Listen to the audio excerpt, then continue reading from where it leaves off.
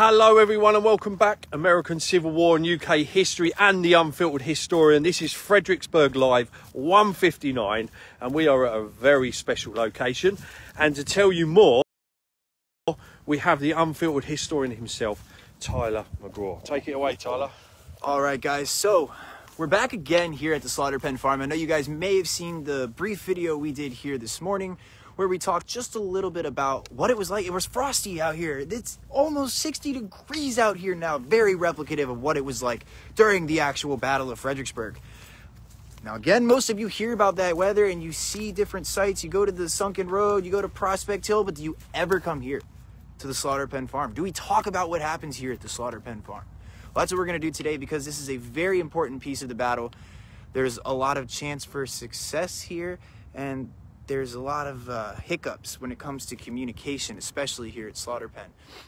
Uh, some very notable characters today that we're going to talk about. One of those, George Gordon Meade himself, and General John Gibbon, who will actually fight three of his brothers. Now, uh, if you remember correctly, John Gibbon is a North Carolinian that decides to stay loyal to the Union.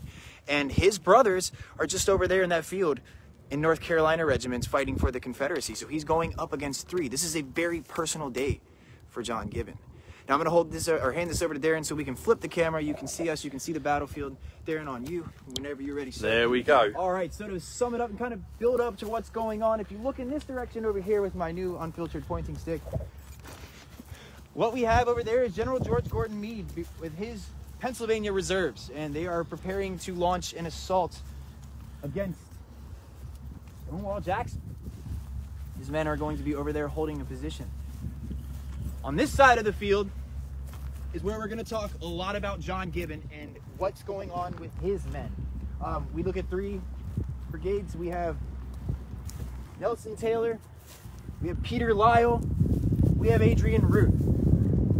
So I'm not going to focus too much on Meade and too much on Pelham here because we do plan to stop at other locations and talk about these guys. But I really want to highlight, since we're here at Slaughter Pen, John Gibbon's assault. It's a personal story. It's a great story, and it's very interesting in what goes on at Slaughter Pen. Uh, I do want to start out by just thanking the American Battlefield Trust for preserving this wonderful piece of ground that we have today that really helps a visitor understand Fredericksburg.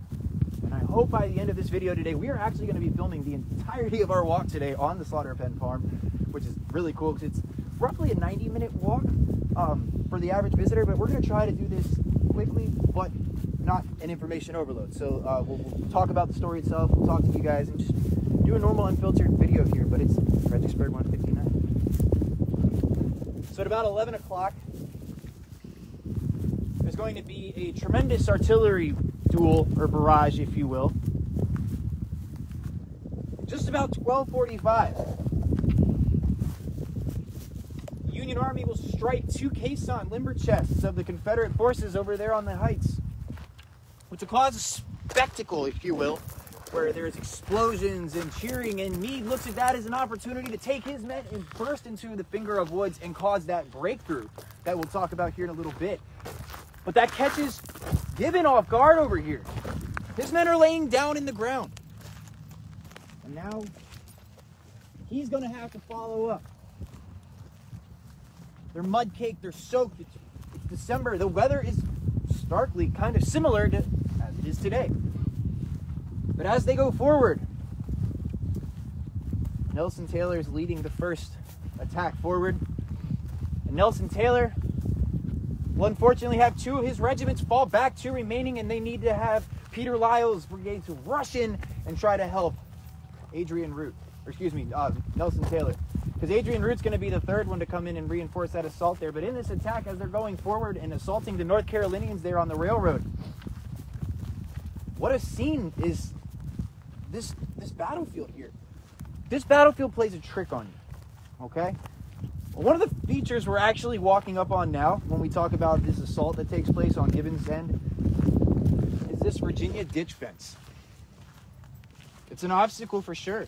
We see the canal at Fredericksburg, um, in the city of Fredericksburg, the canal ditch that's about 10 feet wide and 6 feet deep. And with, uh, due to some Union engineers being able to actually drain this, it's uh, only got about 3 feet of standing water at the time of the. But this right here is a hell of an obstacle. And Darren, if you want to show them, just this is a natural, well, I wouldn't say it's a natural, but it's your it's a fence. It separates properties. It's here to really keep cattle or livestock out of somebody else's yard.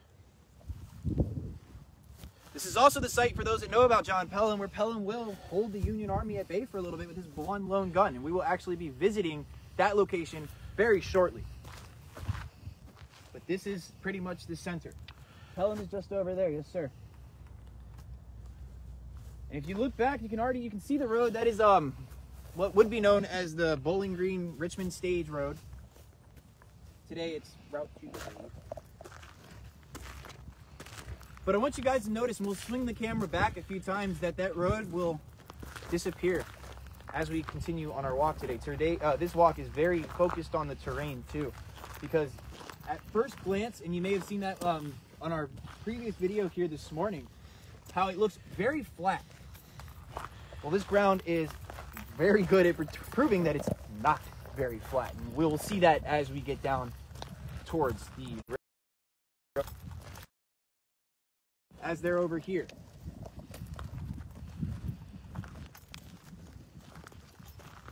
Pelham trains his cannon on a gun. On a cannon, or uh, on a gun, on a uh, tree, excuse me. And that's how he's going to be able to feed that artillery into position here. He's sitting in a very low, depressed area, um, almost like a bowl shape. And that allows for him to have such success. And actually, Doubleday is going to send men to try and dispatch this and get away from having to deal with such an artillery barrage that uh, Pelham is now causing these Union forces to endure. And with that, I'm going to just be quiet for a little bit and let Darren reflect on some stuff as we walk and let you guys as well. And let Darren kind of show just some of the sights that we're seeing until we get to our next stop. But we don't want to cut the video now. Wow, I'm just in awe of this place.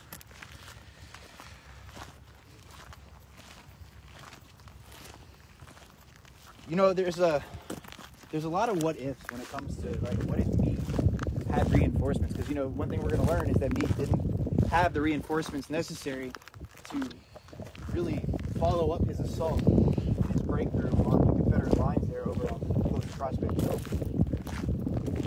And I believe it's five Medal of Honors that are handed out here. So they're rightfully won here on this battlefield. Then it makes it very unique to have such one field to have so many Medal of Honors brought out to it. And there's one of our wonderful Civil War Trails signs. Let's give uh, Civil War Trails a big Absolutely. shout out. You know, they are um, credited with being the largest open air museum. And it's so true. Uh, Anywhere you see a Civil War Trail American sign, Battlefield Trust as well. it's great to stop at it. Yeah. Do you know what? That was really strange then. When I was walking up, it looked like the ground was going to dip down, Yeah, but it doesn't. doesn't it? Or does it? Yeah, it's very strange. That's what I'm saying. So that's the thing you get here when you come out to this battlefield is that terrain feature just really messes with your head because at one minute you think it's going to drastically dip, one minute you think it's flat. But wait till we get down to the railroad cut where they actually um, fight. Uh, John Gibbons' men fight. It makes a hell of a difference to be able to stand down there and then look back up. Uh, this is um, really, like I said, the biggest opportunity for Union success during the Battle of Fredericksburg. Because over at the Sunken Road, which we'll visit later as well, we look at a 900 yard open plain that Union soldiers are attacking up to a very fortified stone wall, and the heights beyond that are lined with Confederate cannon and artillery. It's just, it's not really the most, of course, at first glance, well thought out attack. But at the same time, it is. It's looked at as a diversion because this is where the attention should be focused on. A lot of communication delays. There's a lot of bickering, if you will, and just things that go against this part of the battle. Of course, Meade doesn't receive those reinforcements. I'm sorry if you're hearing an airplane. We do have a uh, airstrip. The Shannon Airport's just on the other side of the slaughter pen farm. So it's kind of cool to come out here. It's another unique aspect of this battlefield is you get to watch planes take off every now and again. You get to watch trains go by every now and again, and it makes that battlefield just that much more unique. But if you're looking across, you might be able to see and denote that Virginia ditch fence that we spoke about just a few seconds ago. You can tell um, in the winter it's perfect because you really can tell and you can kind of see for yourself the the differences of terrain much more than you can when there's a full growth of crops out here. But absolutely, you can tell that it's uh, almost like a swale. It provides defense. It provides an obstacle. So it's good and bad in both aspects. Um, again, sorry if we go quiet for a minute. We're just enjoying the walk, and we would like to have you guys along with us for the walk and the talk. Remember, guys, this is my first time here, so I'm sort of like And Darren didn't yeah, walk out gobsmacked here at the moment. no, you got. We only stood up over at the parking lot Yeah, and filmed out on the field. yeah. So you guys are going to get to see his reaction to the terrain that we're coming up on soon, live and in person. So if you've never been here either, and I hope this isn't a spoiler alert, No, um, you'll get to see that as well, and it, it's just it's amazing. it is just amazing. Now, one thing to note, I know I said I was going to talk about Meade's breakthrough a lot here, but it might as well. There's a swamp that Mead is faced with uh, in front of him. Uh, There's a 600 yard gap in Confederate lines. Maxie Gregg is really holding some of this. At the same time, so is James J. Archer. And the swamp itself is by Confederate forces deemed militarily insurpassable. But don't don't test George Gordon Meade. He'll go through it. He takes his Pennsylvania reserves through it. And when these Union troops break through the Confederate lines, initially Maxie Gregg thinks that they're Confederates because you're bogged down in a swamp. Your blue uniform has a hue of gray and mud color. So it's kind of understandable as to how you could be conceived as a Confederate force. Um, so, of course, Maxie Gregg thinks that he's being assaulted by his own men or that there's confusion. He rides down to kind of find out what's going on. Becomes mortally wounded when a Union bullet will sever his spine. I mentioned again, there's something that tugs in your heartstrings, really, is that John Gibbon fighting three of his brothers here. And I try to put myself in that position because I have brothers and sisters as well, and just to think about having to go against them in a war, uh, let alone leaving my state to, you know, it, we could go on for days about the feelings on that. It, it's very, very, very heart rending, but it's it's a true story. It's real. This is what's happening here at the battlefield. There's a great map on these things that we think again the American Battlefield Trust and Civil War Trails for these, but to help us sort of show you what's happening. We're currently standing on the flank of Taylor's assault, uh, the flank of the 11th Pennsylvania to be exact, and they're going to be attacking Lane's North Carolinians, who are directly to our front at this point. Now, when we're standing here and you look out onto the field, you can't really see the railroad, can you? Let's continue walking a little bit. Keep that in mind, though. You're not able to really see it yet. And then one thing we're going to do is when we get down to the railroad, I'm going to have everybody sort of look up towards the road. And also, Darren, do you hear the road anymore? I can't hear it at all. No. We're not even that far from it. Probably about like 200 yards, 300 yards out that. Maybe a little more. Wow, that is You can't true. even hear it. I cannot hear a thing, guys. No. It's quiet. You can hear my keys rattling on my. Yeah, that's about it. That's it. That is really strange. Battlefield's good at that. It, it plays that because an acoustics thing as well. I, I never really thought about it that way either. As I'm walking out here, I always just focus on the terrain change and how that plays out. Guys, thank you all again so much for joining in to Fredericksburg Live 159, hosted by the Unfiltered Historian and American Civil War and UK history. We have been planning and really, really excited to bring this to you guys, and it's just beyond incredible. And uh, you might have noticed that we was offline for a little while, and that was because we got sidetracked. We did. And it was a good reason why we got sidetracked. Went to go visit a friend of ours over at the CVBT office. It was nice to see Terry, as always. And uh, two hours went by, and uh, yeah. and we're like, we gotta go to Slaughterpen. Yeah. We forgot about that. Um, but yeah, big shout out to them guys because without them, a lot of these places would uh, fall Right. into the wrong hands. And that's the wonderful thing about all these preservation is that they just do such a good job in this area, especially CVBT. We're trying to keep and retain what we have. I mean, look at this. Look at this field that we still have today. I've been told before, and it was really comical, that oh, you always take pictures of farm fields. Mhm. Just a field. well, they have the greatest slogan in the world. It's preserving dirt and grass. And there's a reason that we do that because this is hollowed farm fields. This is hollowed ground. It's not just a farm field. To the untrained and unknowledgeable eye, maybe. Yeah, maybe it is. You, you haven't taken the time to study and understand what happens here. So of course I can see the why you would say that. But we don't just take pictures of farm fields. There's stories behind these fields, and there's reasons why we save them.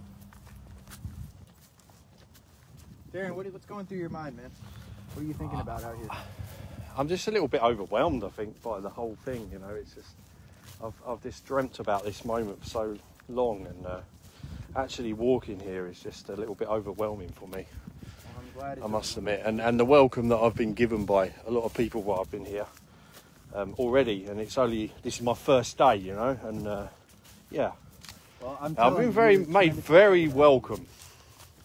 As you should, man. You've done a lot for our page too. The Unfiltered Historian would not be what it is without you and your continuous efforts to keep our page up to date with our this day in history tidbits, which are like the greatest part about waking up every day almost is just going straight to see what happened today in history because Darren runs that so well. So big thank you for that as well, man. Thank you. Feeling the love, feeling the love, man. And you guys too, the guys that are tuning in and watching this that have heard us blabber on about Fredericksburg for the past month and a half, two months now. Bet you're Yes, so glad this is our here. gift to you guys. Again, like I said, sorry for the pause. The Fredericksburg 159th isn't just about talking the entire time. Sometimes it's about enjoying the battlefield that we have. You know, not everybody can make it out to the battlefield on the 159th anniversary. So being able to, you know, have that broadcasted to you hopefully is worth something. We got another one of our beautiful signs here. Civil War Trails, big shout out. What time do we have? It is 12:36. In a few moments, we will be standing here at the exact time of the assault when Meade breaks through. So remember, those two limber chests are hit just roughly around 1245. So, with that being hit just around 1245, Meade bolts through the finger of woods, which you can almost see behind us here, actually. Jared, if you want to spin that around real quick. Um, so I'm gonna do an unfiltered point just for you guys for a second. It's a little beyond that building, but you can kind of see how the woods jut out. That's about where Meade has his breakthrough and where he's going to charge through.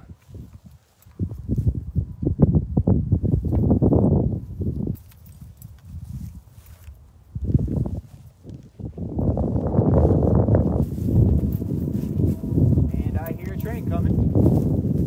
Which is good. Because this will help a little bit with kind of our location. And where whereabouts we are.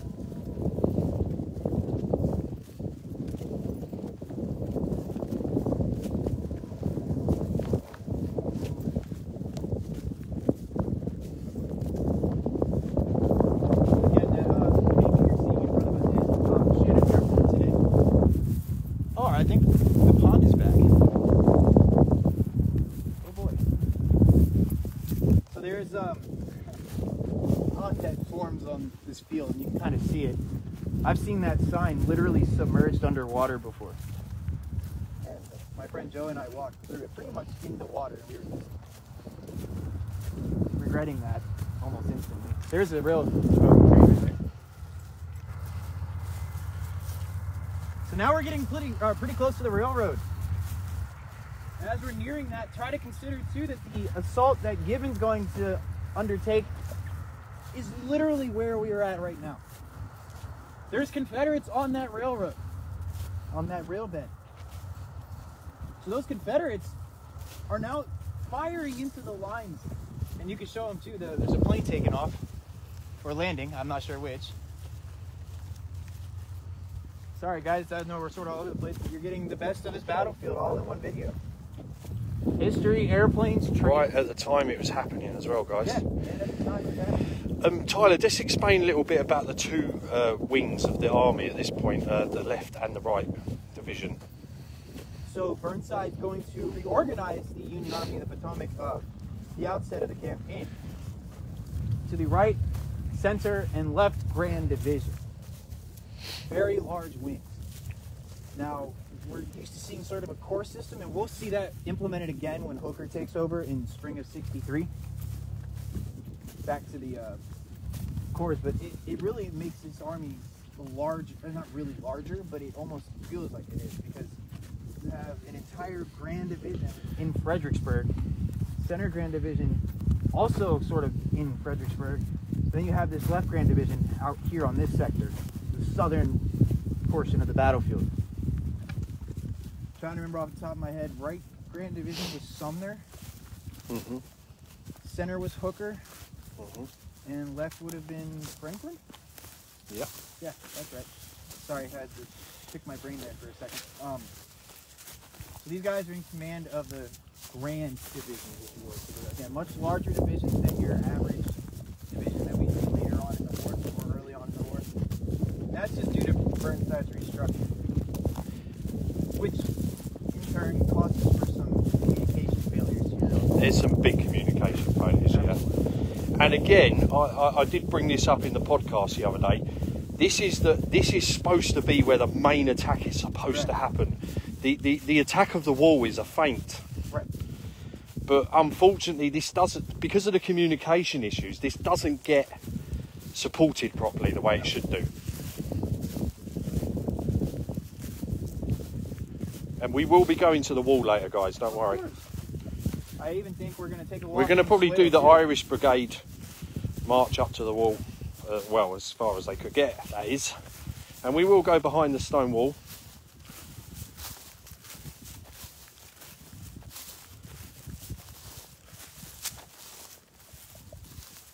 I am just absolutely gobsmacked by the weather today. This is Yeah. like mid December and it feels like early spring. But this is what this is what happened to some of these guys, particularly when we get over to the other side of the battlefield with the, the stone wall. The weather is very similar, so they shedded their coats, and as we know, they're going to get stuck out there tonight. And I know this. I was out there last night, and the weather was similar when I landed yesterday afternoon, and the and the, and the temperature dropped so quickly this time of year. So these poor guys are stuck out on that field without a coat. That's going to be bad. Towards your uh, left there. Look at the terrain now. Oh my goodness, you can't even see down that bit. No. There's the uh, GA. It was five GAR medals of medal? honor, yep. Oh yeah.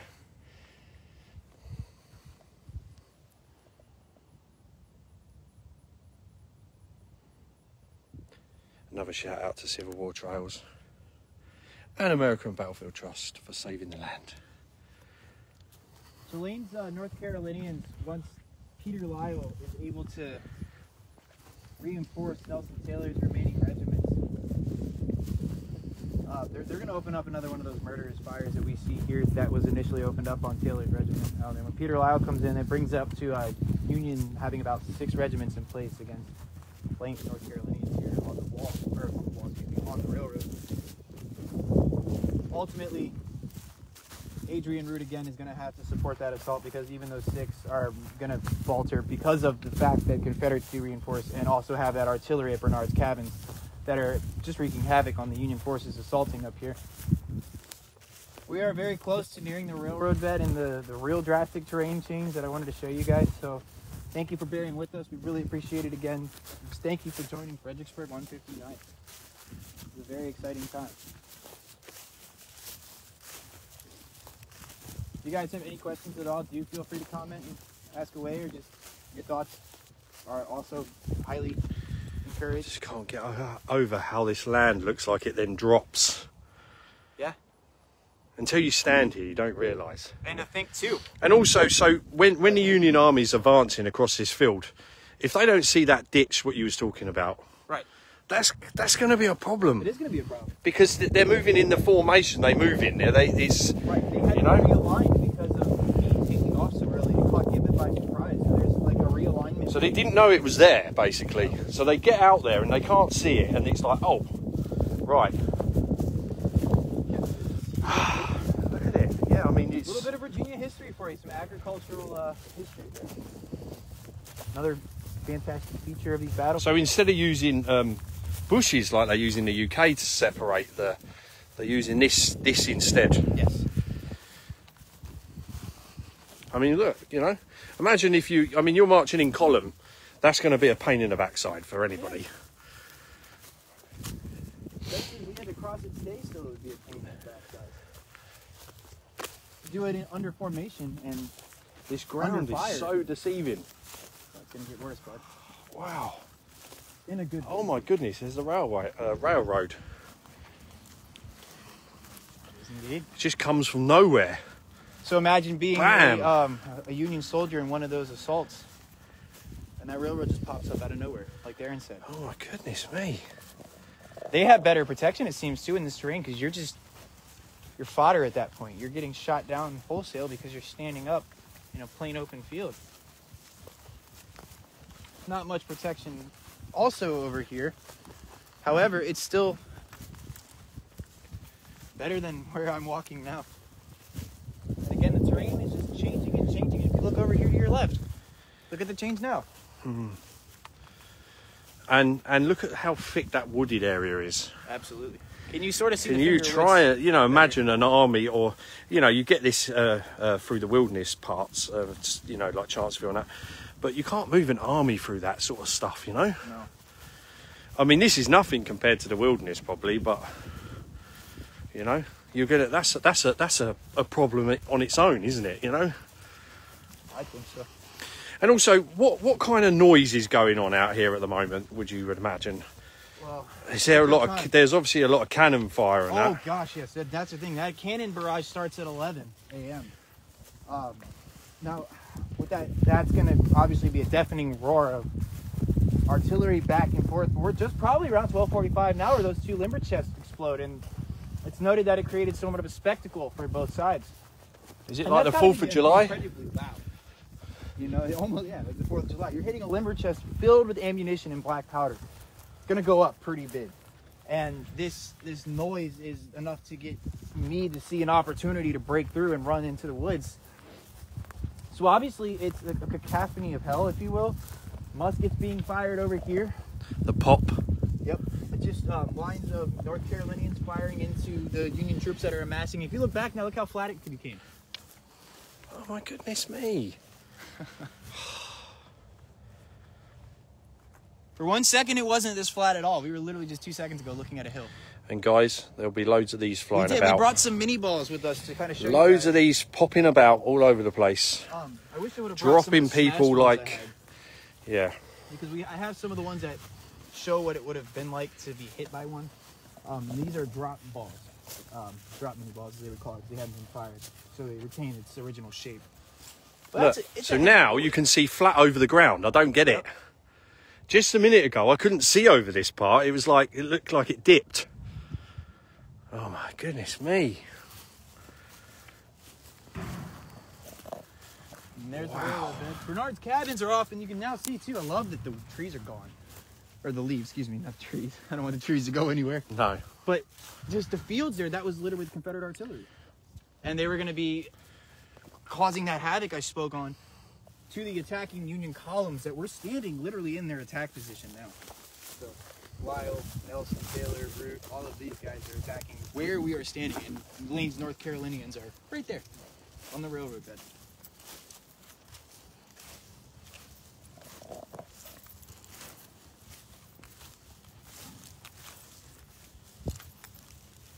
We were literally at the epicenter. And hand to hand combat, that's Yes. probably one of the worst things of the Civil War.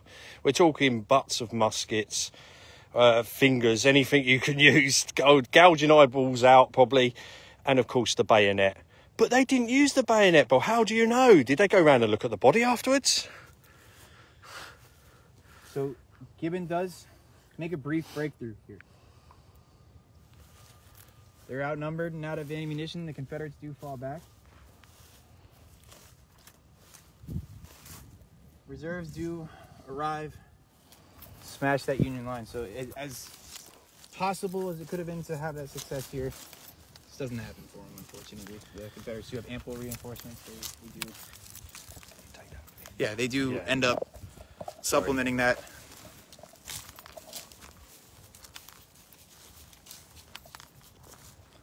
giving you guys a brief look for a second as we're here. Some moments of reflections as well.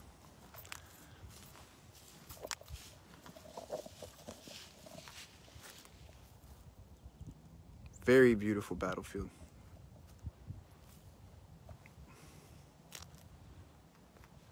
And it's nice too because uh, it's recently been cleared of all the crops that are out here. And I'm hoping, I don't know if it's uh, still standing, but there's a swamp up ahead that's pretty replicative of what Meade would be attacking through.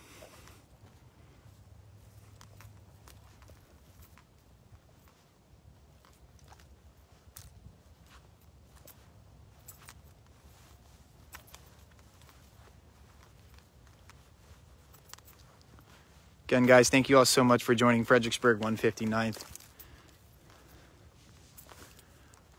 Presented by the unfiltered historian, American Civil War UK history. We are live at the Slaughter Pen Farm. Thank you for joining. We just had Darren checking out the railroad a little bit.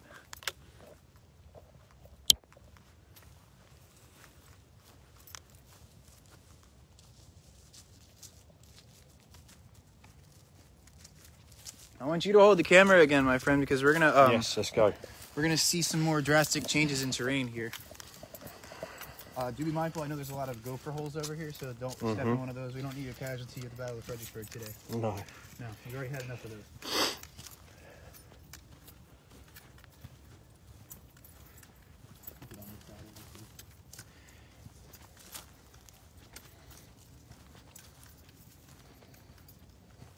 Now, Darren, your left.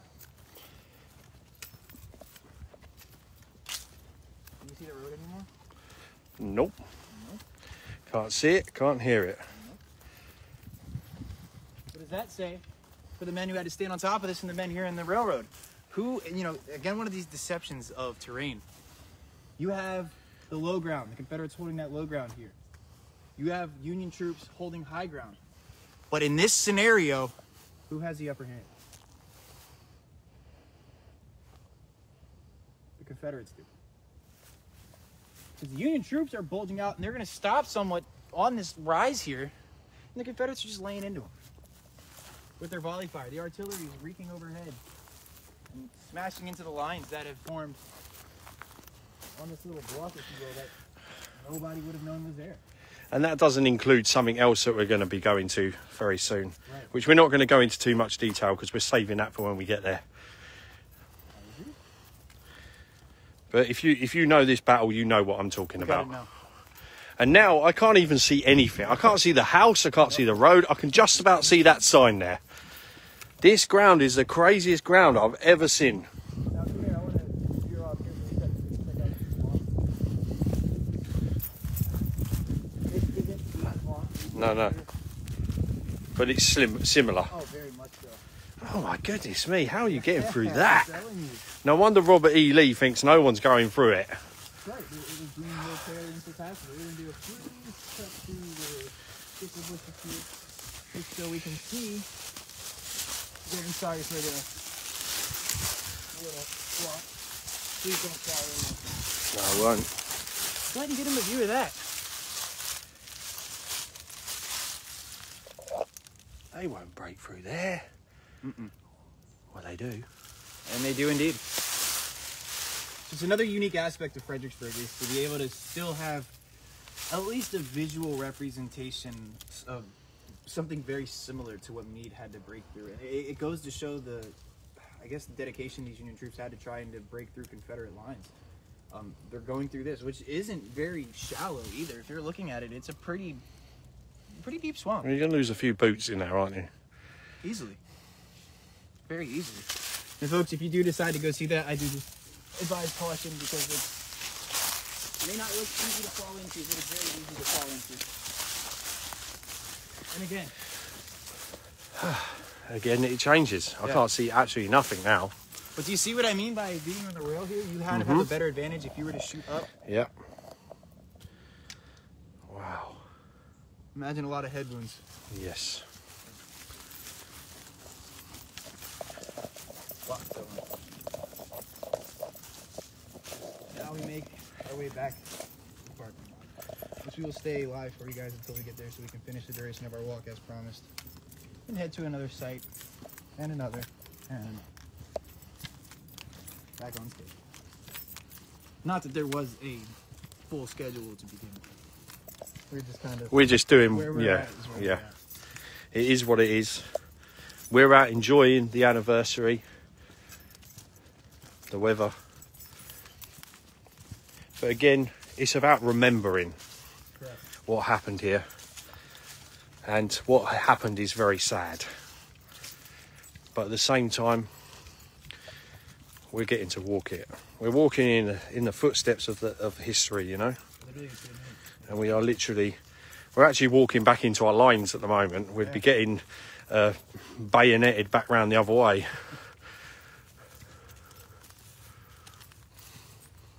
You notice we're coming up a rise. yeah and now it's like changes again and like the road looks like it's miles away from at here Look at the.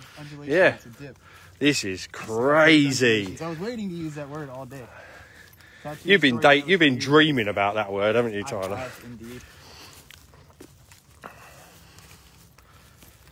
oh my god look at and then and it looks like it dips Yeah. down again and it goes up again and it goes up again I'm gonna have you look again. Ah, it's like a get to the parking wave, look.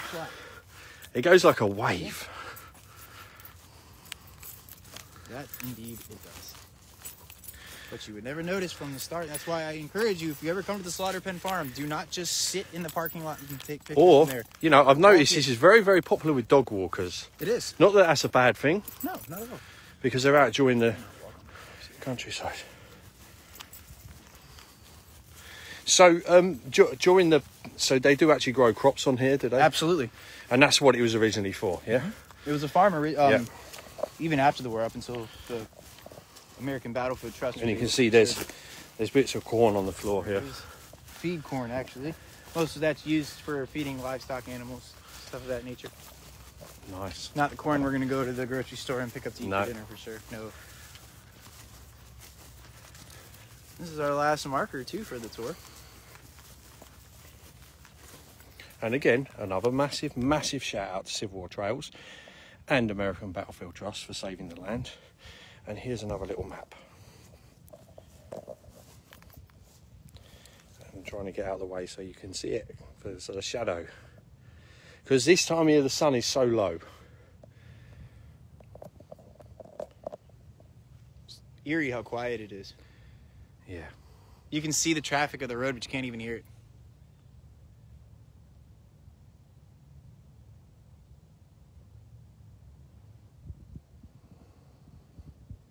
Very quiet out here. Wow. That was a moment. It was.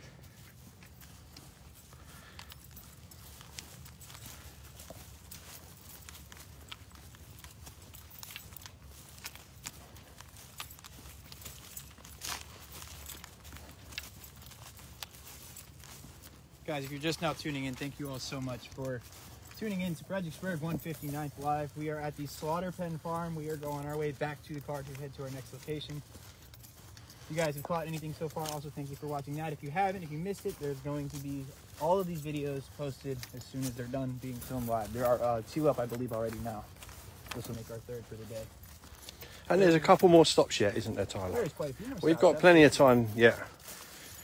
And some of them might be random out of nowhere stops that we haven't even talked about. You know, we're just kind of going with the flow of today. And what speaks to us most about a battlefield where we think we uh, really have something to share or just have a connection to is where we're going to go live from. And again, the terrain changes. Look, Yeah. it looks like it dips down. Well, we know it does now. It's How crazy. drastically it does. And I still can't hear that road. No. Look, it's humming away over there, but you cannot hear a thing. It is the weirdest thing ever. It's almost like we're caught in like a a, a, a sound trap. a vacuum. Yeah. Yeah, it's really weird, guys. I mean, I can hear obviously a plane in the sky, but I can't hear anything It's gotten else. Warmer as we've been out here. I am It's- sweltering at the moment. Yeah, it's not cold. I mean, he was actually trying to bake me in his car this morning at 200 degrees. cold. Um, it, it was cold, and I said, "Mate, you can't cook me and eat me." Well, you told me. Um, I, we we took the Michael out of Anthony Hopkins, didn't we? And then we went, you know, like the noise. But um, yeah. Anyway, this is unfiltered historian, guys. So we do go off on a tangent sometimes. Apologise. I was only trying to bake Um, because he told yeah. me he didn't like cold tea or iced tea. Oh, I hate cold tea. And yet again, there it is. He can't help himself, can he, guys?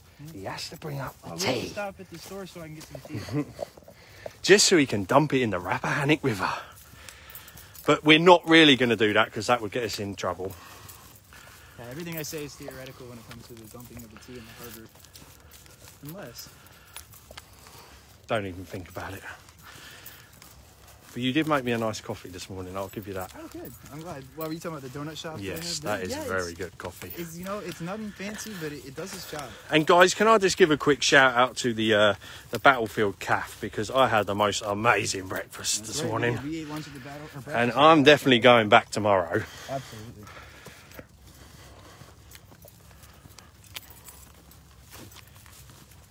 Okay, that walk may have actually had me a little hungry. Yeah, me too. It made you okay. We were talking Yeah. about as we were coming to do this talk. I'm not really that hungry. I could pass. And again, Yeah, now I'm like, eh. the terrain changes again. It looks flat now. so we may, um, depending on what we decide, we might take a lunch break and then come back and do uh, a filming at a few locations. Seeing how our time is when we get back to the car. So we're not far away from it all now. Seeing what's on the agenda.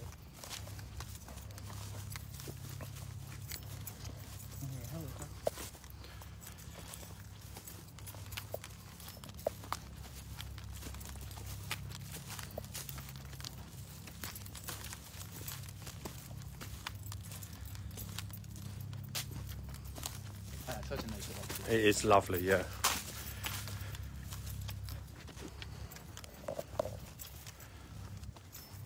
So, anything else you want to add before we wrap this up, Tyler? I just I wanted to highlight the importance of this this particular site at Fredericksburg.